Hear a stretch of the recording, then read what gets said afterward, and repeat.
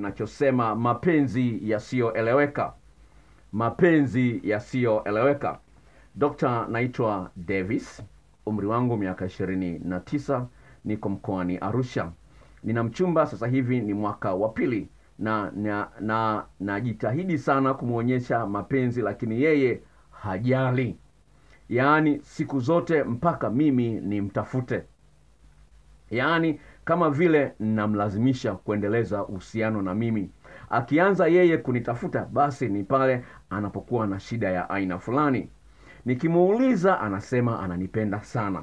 Nimejaribu kuchunguza, sijaona dalili yoyote ya mchepuko. Tendo la ndoa nalo raundi moja, anasema kachoka. Mapenzi ya staili hii dokta, yapo? Okay, unaweza kuona swali hili jinsi gani linamsumbua huyu kaka mapenzi, anashindwa kumwelewa mpenzi wake, na watu wengi sana wao katika hali kama hiyo hiyo.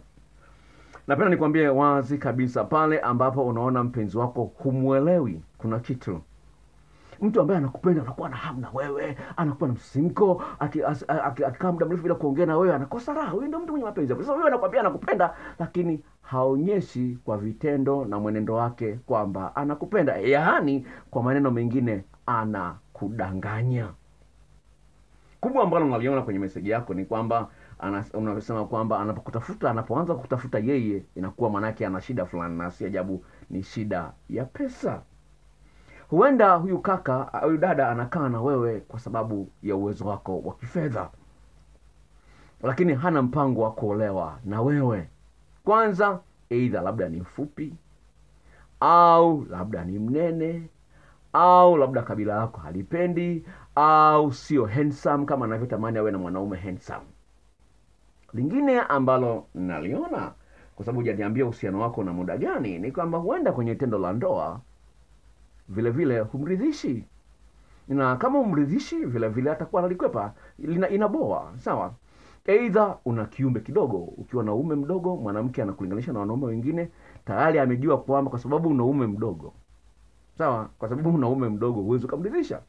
Kwa hiyo hawezi akakutafuta kwa sababu anajua kwamba ungependa tendo la ndoa. Sasa anakukwepa hapendi kuwasiliana na wewe mara kwa mara mpaka wewe mtafute kwa sababu gani? Anajua kwamba kikubwa unachokijua wewe ni tendo la ndoa kuna maeneo mengine yapo lakini lingine ambalo lipo ambalo wanaume wengi wanakosea vile vile ningependa kulizungumza.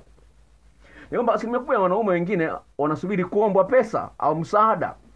Sawa hilo ni jambo la hatari sana kwa mwanaume kulifanya. Sawa jitahidi kuonyesha unamjali mwanamke bila yeye kukuambia kwamba anahitaji kitu fulani. Sawa kumbuka kwamba huyu mtu hana uwezo wa kifedha. Sasa kwa nini wewe usijitoe kwa ajili yake? Usisubiri kuomba. Unajua ndio huwa naita mm, mapenzi toroli. Toroli haliwezi likasogea mpaka limesukumwa kwa nini usubiri kuambiwa kuombwa? Toa msaada umhudumie mwanamke bila kusubiria kombe. hapo ndio ataiona thamani yako na ataona kwamba kufanya yale ambayo wewe unahitaji ni kwa faida yake yeye. Sasa unaposhindwa kufanya mambo ambayo yanamwonyesha huyu mwanamke kwamba kweli wewe unamthamini itakula kwako na ndio ambayo imekukumba. Kwa hiyo naomba jiongeze katika hilo eneo